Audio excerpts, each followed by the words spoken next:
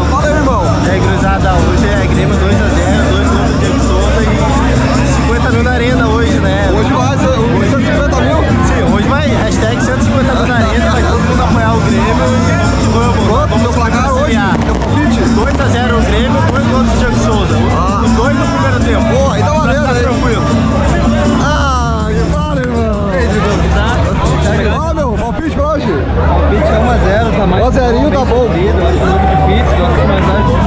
Espero que a nossa energia ajude um pouco. A vitória é que importa, né, mano? Vou falar o placar. Primeiro deixa eu já iniciar, né? Sou ataque de volta, cuidado, vamos mostrar mais